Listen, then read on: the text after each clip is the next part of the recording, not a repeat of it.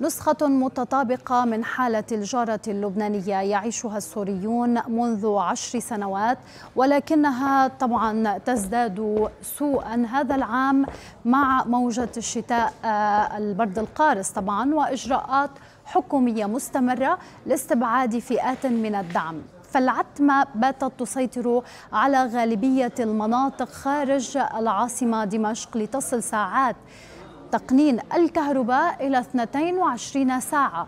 كما لم تحصل أو تحصل ألاف العائلات على حصتها من المازوت بالسعر المدعوم وهو 1700 ليرة للتر الواحد فيما سعره بالسوق السوداء يصل لأربعة ألاف ليرة.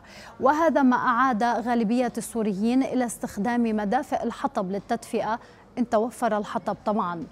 ففقراء الحال يستخدمون كل ما هو قابل للاحتراق مثل الورق الألبسة الأحذية القديمة ومخلفات البلاستيك لتدفئة أولادهم. ومنذ عام 2019 بدأت حكومة النظام بتوزيع المحروقات المدعومة عبر البطاقة الذكية ثم وسعتها تباعا لتشمل المواد التموينية كالشاي والأرز والسكر والخبز. ولكن توزيع البطاقة الذكية ترافق أيضا مع ارتفاع جنوني بأسعار المواد المدعومة.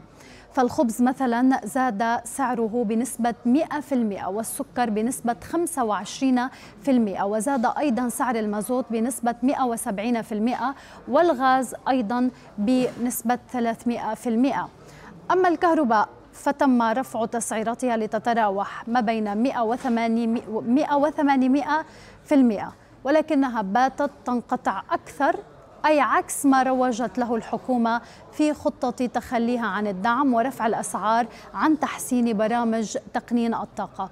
وذلك بطبيعة الحال أدى لتعطل محطات ضخ المياه وشبكات الاتصالات في مناطق عدة لا سيما الأرياف. لعدم طبعا توفر الوقود اللازم لتشغيل مولدات الكهرباء. ووفق إحصاءات الأمم المتحدة تقدر نسبة الفقر في سوريا بأكثر من 80% يعيش 60% منهم على المساعدات.